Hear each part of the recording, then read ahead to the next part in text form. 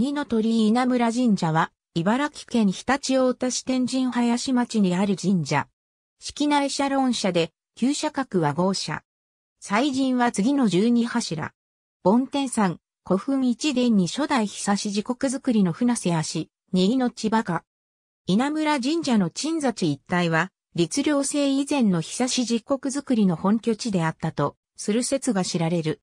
この国像について、仙台旧寺本義、国造本義では、聖武天皇のお世に以下色を水の地三世孫の船瀬、足に命が、初代久し実国作りに任命されたと見える。社殿では、この任命の際に船瀬足に命が、始祖のにぎはやひ命を祀ったといい、その時に、天神、または七面の神教が祀られていたので、七大天神と称したという。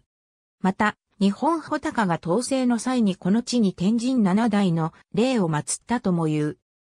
稲村神社の南西には、梵天山古墳群が残るが、その主墳の梵天山古墳は、茨城県第2位の規模になり、これを船瀬足に命の墓とする伝承がある。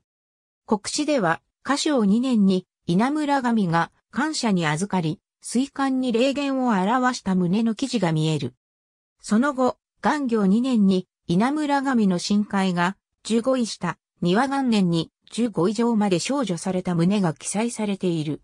延長5年成立の演技式新名帳では、日立国久寺郡に稲村神社と記載され、式内社に列している。ただし、これらの稲村神には他の論者もある。新編日立国史によると、元禄4年、徳川光国が天神林村を通った際、天神七社の所在を正し、当時、七大天神と称していた七塚を巡見した。そしてこれらを一社とするよう悟したので、元禄六年に現在地に社殿を造営して、合祀したという。また、三国は鳥居に、七大天神宮の変額をかけさせ、神儀を奉納した。